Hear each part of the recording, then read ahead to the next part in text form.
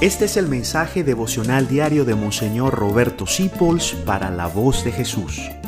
Queremos que la sangre de Cristo no se derrame en vano. Hace muchos años Dios inspiró una canción en mi ministerio, El Dios que hizo el cielo y la tierra se ocupa de ti. Esa canción la han cantado varios artistas y ha hecho tanto bien. Yo creo que resume todo lo que yo trato de predicar. El Dios que hizo el cielo y la tierra se ocupa de ti. Para Él nada es imposible, Él es el amor y es omnipotente. Yo quisiera que tú sintieras eso hoy. Uno de los grandes descubrimientos que yo viví cuando me convertí es que yo le importaba a Dios. Porque me imaginaba yo siempre que Dios era como un gran presidente del universo que estaba dirigiendo el cosmos y no tenía tiempo para pensar en mí.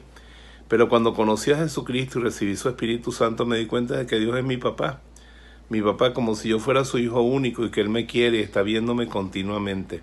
Dios se ocupa de ti allí donde tú estás. Entrégate en sus brazos.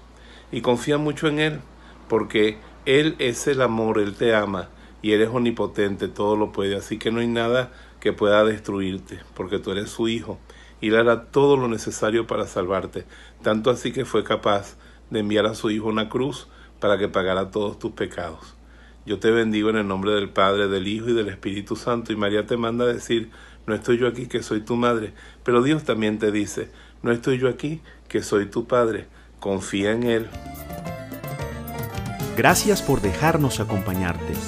Descubre más acerca de la voz de Jesús visitando www.lavozdejesús.org.be.